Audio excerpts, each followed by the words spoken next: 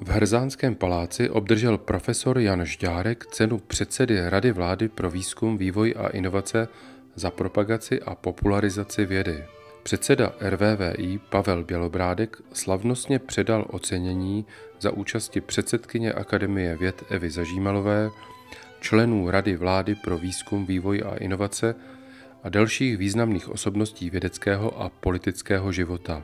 Profesor Žďárek po celý svůj život přibližuje veřejnosti poutavým způsobem říše hmyzu.